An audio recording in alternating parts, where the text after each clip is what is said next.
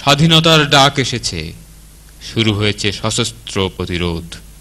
একাত্তরের মুক্তিযুদ্ধ বাঙালি জাতির জন্য গৌরবের ইতিহাস। নিরীহ বাঙালির উপর পাকিস্তানি হানাদার ও তাদের দোসর রাজাকার আলপদর বাহিনী ঝাঁপিয়ে পড়েছে। নির্বিচারে হত্যা করেছে তিরিশ লক্ষ তাজা প্রাণ। লুণ্ঠন, ধর্ষণ, নির্যাতন চালিয়েছে। জ্বালিয়ে দিয়েছে গ্রামের পর গ্রাম। শেরপুর জেলার কমরিয়া ইউনিয়ন। উনিশশো একাত্তর সালের চব্বিশে নভেম্বর, কুয়াশাচ্ছন্ন ভোর জেগে উঠছে গ্রাম। দিনে নতুন সূর্যকে আমন্ত্রণ জানিয়েছে শিমুলচূড়া পাখির কলতানকে ছাপিয়ে পশ্চিম দিকের রাস্তা ধরে ছুটে এসেছিল পাকিস্তানি আর্মি। মাত্র কয়েক ঘণ্টার মধ্যে গ্রাম ঘর জ্বালিয়ে অসংখ্য শহীদের রক্তে স্নাত হয়ে ফিরে গিয়েছিল এই পথ ধরে। আমি মোহাম্মদ গিয়াসুদ্দিন মুক্তিযুদ্ধকালীন কোম্পানি কমান্ডার। আর এখানে যারা দাঁড়িয়ে আছেন আমার সাথে, তারা সবাই আমার সাথে মুক্তিযোদ্ধা এবং শহীদ পরিবারের লোকজন। আমার আজকে এখানে দাঁড়িয়ে মনে পড়ছে সেই একাত্তর সনের চব্বিশে নভেম্বরের কথা। সেই দিন এই জায়গায় এবং এই এলাকায় একটি ভয়াবহ ঘটনা ঘটেছিল।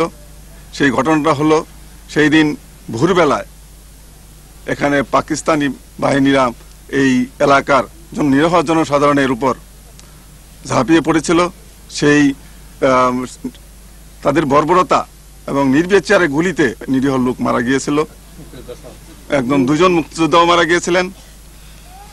এখন সেই দিন আমি এখানে প্রত্যক্ষদর্শী ছিলাম এবং আমি এখানে তাদেরকে প্রোটেকশন দিয়েছিলাম, আমার কোম্পানি সহ। এখন আরও দুজন দুটি কোম্পানি ছিল। একটি ছিল মনসুর আলী কোম্পানি আর একটি ছিল আমিনুল ইসলাম কোম্পানি আমরা বুঝতেও পারি নাই সেই দিন যে এত সকালবেলায় এখানে পাক বাহিনীরা আক্রমণ করবে। আমরা নিজ নিজ অবস্থানে ছিলাম। সেদিন যখন আমরা জানতে পারলাম যে সূর্যদিতে অ্যাটাক হয়েছে তখনই আমরা নিজ নিজ অবস্থান থেকে তাদেরকে প্রোটেকশন দেওয়ার জন্য, তাদেরকে প্রতিরোধ করার জন্য আমরা সবাই এগিয়ে আসি। এবং যারা এখানে বিভিন্নভাবে আমাদেরকে, এলাকার লোকজন আমাদেরকে খবর দিল যে এখানে বিভিন্নভাবে নির্বিচারে গুলি হচ্ছে এবং বাড়িঘর সমস্ত পুড়িয়ে দিয়েছে, প্রায় একশোর উপর বাড়িঘর পুড়িয়ে দিয়েছিল। আমাদের এই এলাকা মাত্র দুইজন লোক ছিল, তারা এখানে আমাদের বিরোধিতা করত। আমাদের এই স্বাধীনতার বিপক্ষের লোক ছিল, সে হলো ইয়াদ আলী খান জিয়ারত আলী খান। যে তারা দেখল যে এই এলাকায় কোনো আলবত রাজাকার তৈরি করতে পারছে না, এখানে শুধু মুক্তিযোদ্ধা, আমরা এই এলাকায় মুক্তিযোদ্ধা, ঘরে ঘরে মুক্তিযোদ্ধা, তখন তাদের প্রতিহিংসায় পাকিস্তানি বাহিনীদের সঙ্গে যুগ সাজসে সেই চব্বিশে নভেম্বর ভোর রাত্রে আমার এই এলাকায় তাদেরকে তারা ঝাঁপিয়ে পড়ানো হয় এবং নির্বিচারে হত্যা করা হয়। নয় সহদরকে পাকিস্তানি আর্মিরা বাড়ি থেকে এনে পাশের এই স্থানটিতে গুলি চালায়। তাদের স্ত্রীরা আজও নিয়তির কাছে আকুতি ছাড়া কিছুই করতে পারে না। একমাত্র জুলহাস উদ্দিনই অলৌকিকভাবে ঘাতকের বুলেটে ফুসফুস বিদীর্ণ হয়েও বেঁচে আছে আজও। বিহারিরা পাকবাহিনীরা আমগরে বাড়ি ঘর নাশ করে আগুন জ্বলাই দিয়ে তারপর গোলাগুলি গুলি করে মানুষ করে মারলো। যার যেন পাইলো নিয়ে তুললো গুলি করে মারলো। এরপরে মারা হেরে পরে আমার পাইলো, দোকান দোকানে বাড়াইছি, আমার গুলি করল পরে আমি অজ্ঞানে পড়ে গেলাম, আমার দাদি আমার ধরে নিয়ে কান্দাকুটি করে পরে পাশে ডাক্তার আছে ডাক্তার নিল। কারবালার অবস্থা, বিকাল তিনটার সময় আমার ব্যান্ডেজ করছে। আমার সাথে আটজন, আমার মেয়ে নয়জন, ওরা সব মৃত্যু, আমি আল্লাহ তালা বাঁচে একসা আমারে। পাকিস্তান বাহিনী এদিকে যখন এরকম একদিকে বিছাই দিতেছে তখন আমি ওই দানের মাঠে ওখানে বাতরের নিচে শুয়ে রইলাম। শুয়ে থাকার পরে ওনারা দুজন আসো দুজন আসা, এখন একজন বলে এদার যাও। আর একজন বলতেছে, না এদার আসো। তখন আমি যখন যেখানে ছিলাম, ওখানে আইসা তারা আমার দিকে রাইফেল ধরে। যখন রাইফেল ধরে, তখন আমি বলি যে, আমি পাবলিক। তখন সে বলল কি, যে, না না, একে তো গুলি ছাইরা দিলেন। এটা আমার পায়ের দিকে এই পায়ের দিকে লাগল, নিচের দিকে। আবার আমার সাইডে অনেকখানে ওখানে ধানের মাঠ ছিল সেখানে ঘোরাফেরা করল, ঘোরাফেরা করে আবার আমার কাছে আইসা দেখে যে আমি মরি নাই, তখন আবার আইসা আমাকে আবার আরেক গুলি করে, এটা এখানে ওরাতের ভিতরে লাগে। ইনি আমার চাষা ইনি ওখানে লোকায় ছিল আমার দুই গুলি করে থিয়া, আমার পাশেই আমার ভাই, আমার জেঠাতো ভাই জোলহাস উনি ছিল। জেঠাতো ভাই যখন তার মাথা, যখন ওষা করে চাইছে তাদের তাদের দিকে, তখন তার গুলি করে তার মুখ দিয়ে তার মজক সরে যায়।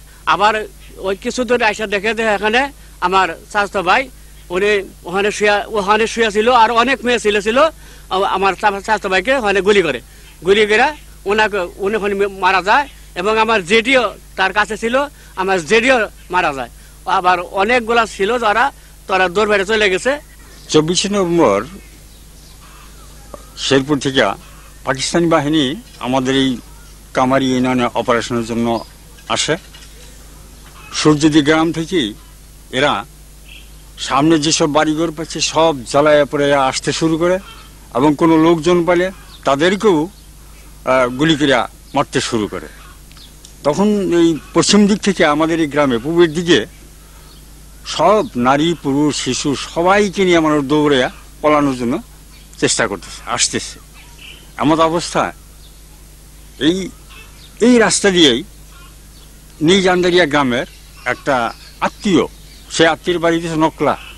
নকলা থেকে এই রাস্তা দিয়ে যখন যায়, তখন একটু পশ্চিম এই পাক বাহিনীরা ওই লোকটাকে এখানেই গুলি করে। একটা গুলি করে পর এমন অবস্থা, চিৎকার দিয়ে ফাল শুরু করছে। আর কয়েকটা গুলি পর পর গুলি করে এই লোকটাকে এখানেই মেরে ফেলে পাক বাহিনীরা। সেখানে কি একটা নরক কাণ্ড ঘটছিল। এই গ্রামে দৌড়াদৌড়ি দেখা মানুষের মনে হইতো যে সেদিন একটা এমন কাণ্ড ঘটছে যা নাকি এটাই বোধহয় শেষ দিন, শেষ দিনের ঘটনা।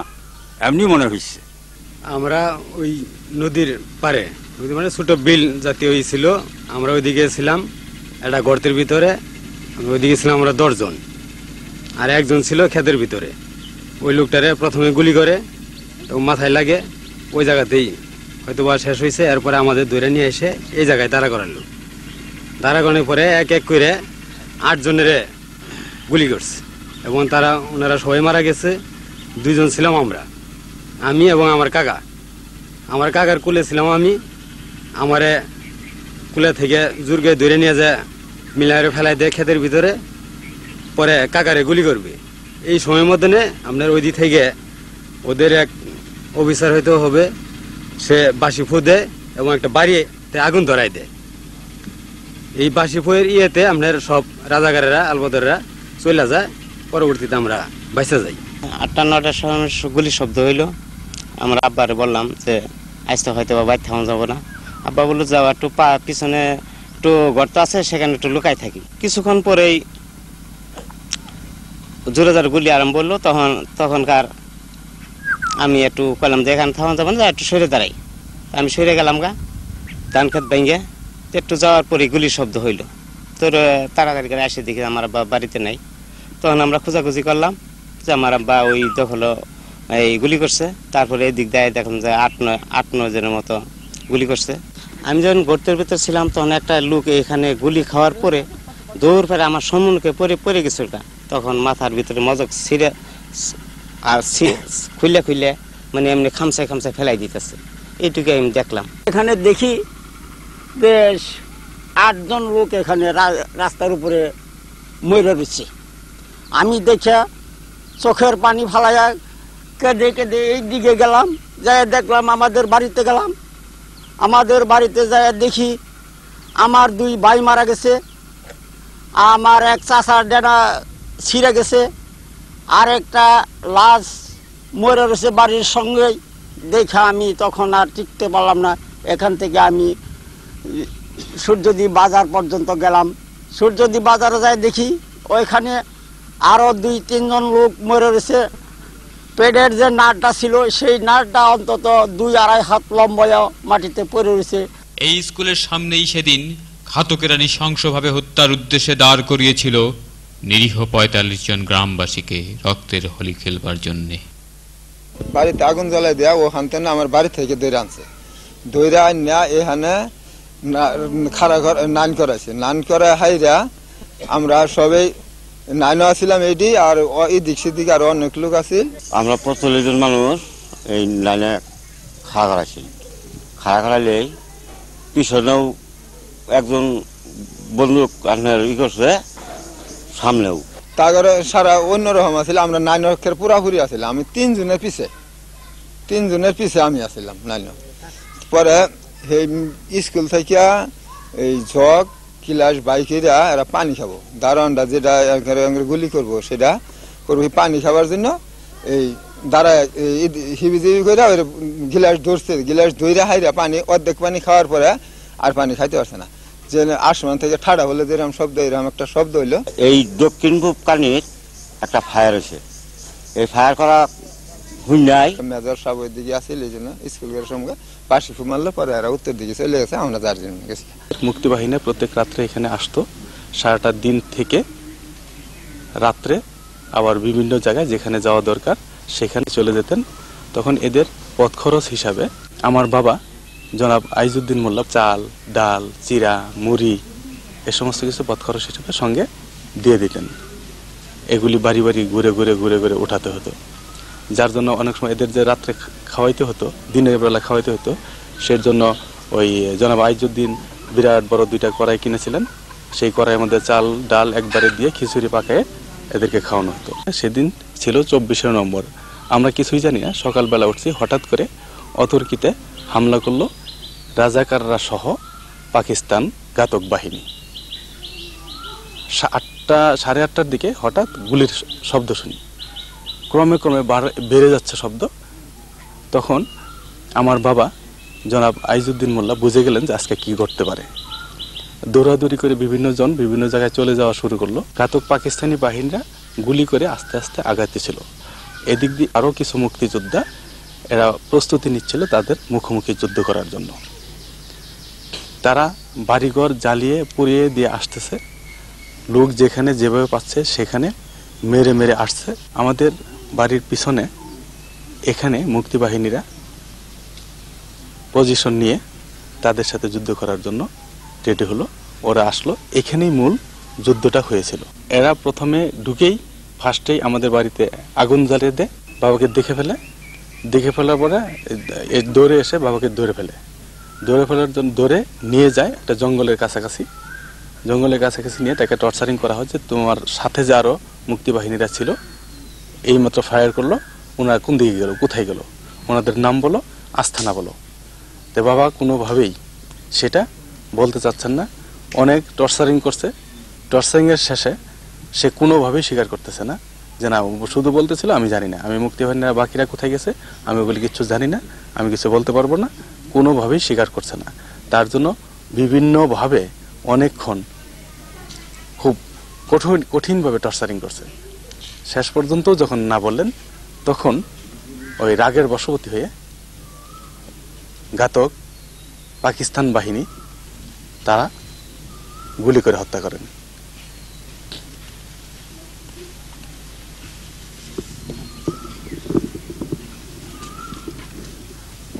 শহীদ হওয়ার আগে আমার সামনে আমার মায়ের সাথে যে কথাটা হয়েছিল বাবার, সেটা আমার এখন স্পষ্ট মনে আছে। আমার মা তাকে বল বাবাকে বলছিলেন যে তুমি আমাদের সাথে চলো। কিন্তু মা বাবাকে যে কথা বললেন বাবা বললেন তুমি তোমরা যাও আমার জন্য কোনো চিন্তা করো না। আমি এদের নিয়ে ওদের সাথে যুদ্ধে ওদেরকে আমরা হারিয়ে তোমার কাছে আসছি। তিরিশ বছর পর একজন চিহ্নিত রাজাকারের বক্তব্য। আপনি তো ইয়াদ আলী। জি। একসময় তো মেম্বার ছিলেন। জি বিশ বছর একসঙ্গে ছিলাম। বিশ বছর একসাথে মেম্বার ছিলেন। জি তিপ্পান্ন সন থেকে একাত্তর সনের এগারোই ডিসেম্বর পর্যন্ত। শান্তি কমিটির সদস্য ছিলাম আমি। একাত্তর সনে আমি? এগারোই ডিসেম্বর পর্যন্ত আমি পদত্যাগী করছিলাম। এগারোই ডিসেম্বর? জি। আচ্ছা তার আগ পর্যন্ত করলেন না কেন? তার আগ পর্যন্ত বহাল তবিয়তে আছি। আর্মির আপনারা ডিস্টার্ব করে নাই? আপনিও ছিলেন? না আর্মিরা তো আসেই নেই এদিকে। তো আর্মিরা তো চব্বিশ নভেম্বর আসলো। তারপর আপনি বাকি সময়টা থাকলেন কেন? কোন বাকি সময়টা? চব্বিশ নভেম্বর থেকে ডিসেম্বর বাকি সময়টুকু যে থাকলেন কিন্তু মাঝখানে যে আরও দিনগুলো গেল প্রায় আঠারো দিন। শুনে নিজে মাঝখানে যে গেল এখানে সদস্যরা কেউ পদত্যাগ করে নাই। যত মেম্বার ছিলেন চেয়ারম্যান ছিলেন কেউ পদত্যাগ করে নাই। পরে আমি পদত্যাগ করলাম।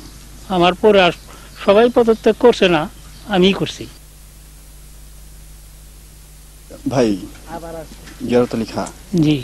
তাকে একাত্তরের স্বাধীনতার পরে আমাদের মুক্তিযুদ্ধের পরে জুতার মালা পরা গলায় পরা হচ্ছে গ্রামে ঘুরাইছে। এটা কি আপনি জানেন? আমি শুনছি। এটা কেন হচ্ছে কেন হয়েছে ও বিভিন্ন ওদের সঙ্গে জড়িত থাকার ফলেই বোধহয় মুক্তিরা ধরে নিয়েছিলেন। মুক্তিরা ধরে নিয়ে কিছু মারছে না? শুধু জুতার মালা না আরও কিছু কইরা মারপিটও করছে শুনছি। জুতার মালা এই শুধু শিয়াল কুকুরের মাথা টাথাও এগুলা শৈল বান্ধা ঘুরাইছে। রাজাকার থাকার কারণে? আমি রাজাকার তো থাকার কারণেই তো করছে এগুলো। উনি যে শান্তি কমিটি মেম্বার ছিল এটা কি আপনারা জানেন? না শুনছি লোকের কাছে একটু একটু। বড় বলে আমি ছোট ছিলাম আমার বয়স ষোলো সতেরো ছিল আমার বড় ভাইয়া দিলখা উনি আমাদের সাথে সাথে নিয়ে গেছে। ওই বড় ভাইয়ের সাথে চলতো ফিরতো ওই নিয়ে গেছিল আর কি। মানে ইয়াদা লেখা হচ্ছে মূলত রাজাকার রাজাকার। সে হচ্ছে ছোট ভাইরে নিয়ে গেছে। ছোট ভাইয়ের সাথে নিয়ে গেছে। হিন্দু বাড়ি দখলের কিছু অভিযোগ আছে? আপনার ভাইয়ের বিরুদ্ধে? ওর বিরুদ্ধে ছিল কিছু কিছু ছিল করে আমি শুনছি। হিন্দু বাড়ির থেকে কতগুলা মেয়ে ছেলে আটকায় রাখছিল ওই পাড়া। ষোলো সতেরো জন মেয়ে ছেলে অবিবাহিত। পরে আমি যাইয়া ওই মেয়েদের সব পিড়ে আমার বাড়ি একাত্তরের মুক্তিযুদ্ধ এবং মুক্তিযোদ্ধাদের স্মৃতি রক্ষার্থে আমাদের এই শেরপুর জেলায় প্রতি বৎসরই এই চব্বিশে নভেম্বর একটি শহীদ দিবস হিসাবে আমরা এখানে পালন করে থাকি। আমরা সেই দিনটিকে আজকেও ভুলতে পারি না। এখানে যে আমরা দাঁড়িয়ে আছি, এখানে আমাদের পিছনে যে ঘরটি আছে, নতুন হচ্ছে এটা শহীদ আইজউদ্দিনের ছেলেরা উদ্যোগে এবং মুক্তিযোদ্ধাদের সহযোগিতায় একটি মুক্তিযুদ্ধ স্মৃতি জাদুঘর গড়ার জন্য প্ল্যান হয়েছে এবং ভবিষ্যতে এটা করা হবে। নমস্কার।